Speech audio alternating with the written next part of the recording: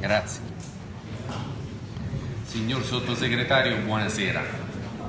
Immagino che dopo quattro ore di lunga discussione sarà un po' stanco. Io provo a catturare la sua attenzione con qualcosa che non riguarda esclusivamente le cifre economiche, perché questo comparto è composto da persone, da persone che per, nella loro professione, nella loro attività ci mettono sangue, lacrime, passione.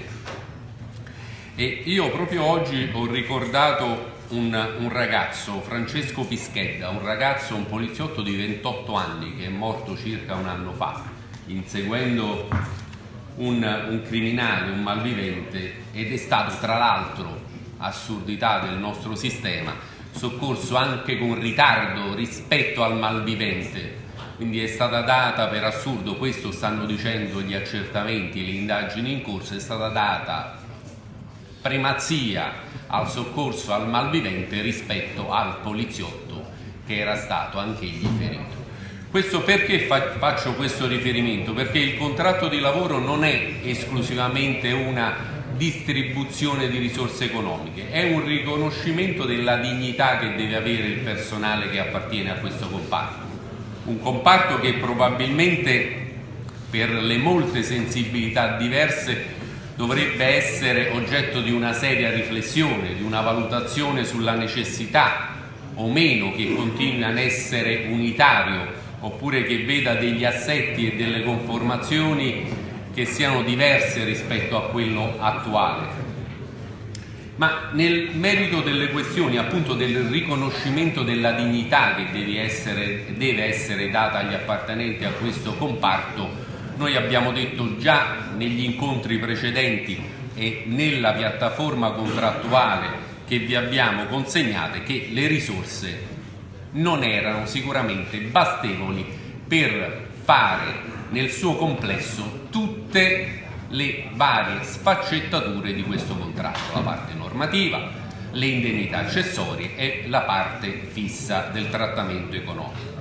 Noi continuiamo a riscontrare una certa ritrosia, un certo ostracismo a fornirci dei dati, perché le tabelle che ci avete fornito dopo, siamo al quarto incontro, dopo quattro incontri, sono delle tabelle che sono quantomeno approssimative. Cioè noi siamo abituati, eravamo abituati a un confronto in questa sala dove la funzione pubblica era prodiga di dati, era pronta a fornirci in ogni momento i dati che noi chiedevamo. Noi qui ancora, nonostante ci sono state presentate queste tabelle, neanche lo sforzo di dire se queste risorse se questi appostamenti sono lordo dipendente, sono lordo amministrazione, sono lordo Stato, dovete, dovete avere il coraggio, dovete avere il coraggio di scrivere le cose, dovete scrivere, dovete, no no, sono arrivato presto, sono arrivato presto. Dovete, dovete avere il, cor il coraggio di assumervi le vostre responsabilità, dovete scrivere quelle che sono le risorse appostate per il 2016, le risorse appostate per il 2017, le risorse appostate per il 2018 e l'impegno che questo governo vuole assumere nella sua distribuzione, perché è inaccettabile quello che state proponendo agli appartenenti a questo comparto dopo otto anni di blocco. Se voi vi immaginate che noi possiamo accettare un contratto così fatto, vi sbagliate di grosso e sarà un esempio la mancanza del rispetto della dignità professionale degli appartenenti a questo contratto che non può essere svenduta in un anticipo di campagna elettorale. Voi continuate ad anticipare quello che poi comunicate a noi in modo tardivo sugli organi di Stato. Io vi prego di mantenere delle corrette relazioni sindacali, di avviare questa procedura contrattuale e negoziale così come previsto dalle norme, senza continuare a fare ostracismo. Comunicate i dati alle organizzazioni sindacali e alle rappresentanze. Questo è il primo passo per avviare un serio confronto, al contrario state facendo altro.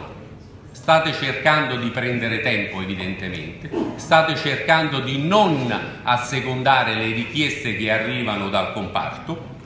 E nel merito delle questioni come noi abbiamo evidenziato già nei precedenti incontri avevamo chiesto di predisporre delle tabelle che prevedessero che gli interi importi disponibili, le intere risorse disponibili fossero assegnate sul trattamento fisso con una prevalenza, netta prevalenza sul parametro.